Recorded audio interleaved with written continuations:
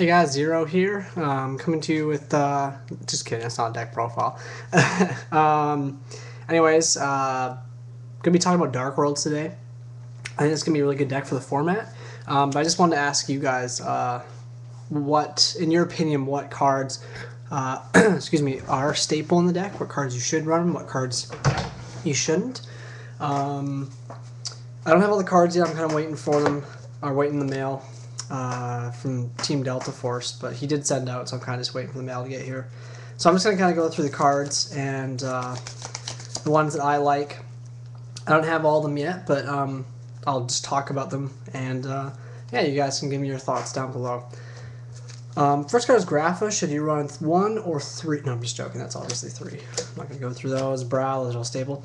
Um, Beiige. I've seen some people run um, one. I've seen a lot of people run three. Uh, I run two. I like two. Um, I think three is fine as well. But just want to know what you guys think. Two, one, one, two, or three Beiige. Um, I'm running two Beiige just because I run the one Sillva. But that's because I'm running a deck devastation virus as well. It gives me another target. And I like Sillva because he gets over Stardust Dragon and whatnot. So he's really good.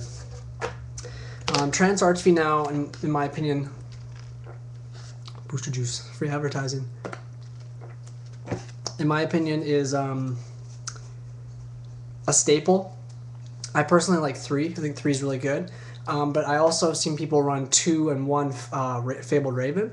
I think that's fine as well. Um, the one thing I do like about about Trance Archfiend is he's a floater, um, whereas Fabled Raven obviously isn't. Um, so let me know what you guys think about that. I actually don't even think you really need Raven in the deck now that Trance Archfiend's out. I just think the deck has enough consistency now that it doesn't. Uh, Morphing Jar, that's another one I want to talk about. Do you guys think Morphing Jar is a must play? I've some, seen some people not play it, but I always seem to, even though a lot of time when I set it, my opponent activates it, he only say I have like five cards, he only has two. Um, a lot of times the cards I'm going to be having in my hand, I'm only going to be setting this if I have uh, Dark Worlds to discard and get pluses off of them. Um, he's always good too when uh, when your opponent's got um, got a full hand, and you can just be able to set all the cards and then flip this guy next turn, and they don't expect it, and they minus and you plus. So uh, I think Morphing Jar is actually a staple in the deck. Some people don't think so, but I do. Um, next is Dark World Dealings. Uh, I run just one, but um, I've seen some people run up to three. I think this is a good card and a bad card. It lets your opponent uh, field the graveyard um, with cards that he wants in there. Oh, there's Dave online. And he, uh, or this also um, gives you an unlimited searchable uh, discard uh, outlet, which is good. um, Dark World Lightning, this is another one. I've been back and forth in this card. I keep testing one, but I always seem to draw it when my opponent doesn't have a set card. Uh, it does nice because it's searchable with Snoww, but uh, other than that, uh, I think it's a good card. I think maybe it's a one of, but I, don't, I can never see myself running more than one. Now these are the ones I want to actually talk about. These aren't Dark World cards, but in the deck. I've seen decks in the OCG and um, TCG even running just Heavy Storm. I've been testing just Heavy Storm no MSTs. I actually don't like it. Excuse me, it's uh, for the same reasons I don't like it in Infernity, and it's just because a lot of times when you draw it, you wish it was an MST, only time it's really good in the deck is when you go second and they go first and they set a couple back rows. It's the only time it's good in the deck. Because um, a lot of times you're going to be drawing all your traps and stuff, and you're going to have your field spell up, and you're just not going to want to nuke your own stuff. Excuse me. Um, I like MST because you can set it, it's chainable, and uh, it gets rid of Decree, um, stops their field spells when they're activating, so you don't you don't lose yours. And uh, I just think MST is a better card. Uh, in your opinion, how many would you guys run? Two or three? Let me know.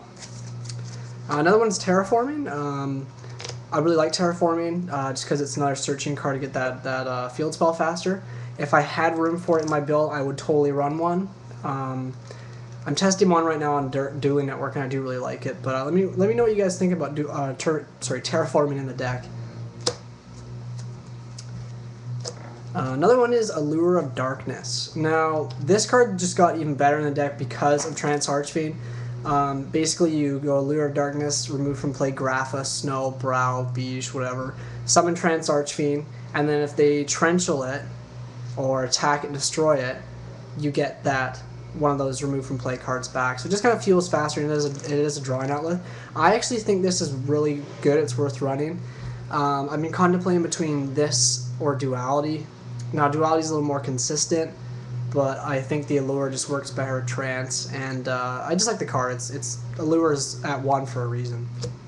Let me know what you guys think though. Once again, no one's Foolish Burial. I like Foolish. I think it's good for dumping stuff you need in the graveyard, but at the same time, it can be so dead late game.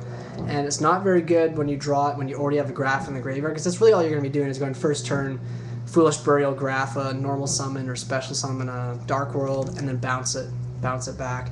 It is a good card though. I think I'm not entirely sure if I like it in the deck yet, but um, I haven't had enough experience with the deck to to know if it's uh, if it is a staple or not. But let me uh, let me know what you guys think. I'm hoping to get some opinions here from some experienced Dark World players. Uh, next one that I've actually been running, and I'm so far loving it. Like I have, I never liked this card, and in this deck, it just blows my mind how good it is. Reckless Greed at three.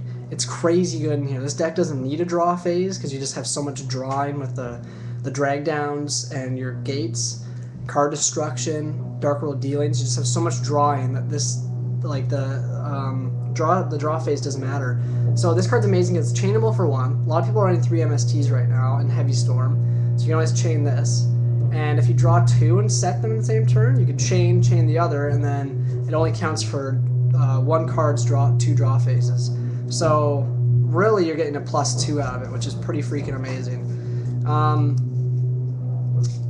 let me know what you guys think about this card. I do really, really like Reckless Greed at the moment, but I may change my opinion. We'll see. Um, let's see here. Another one, um, Torrential Tribute.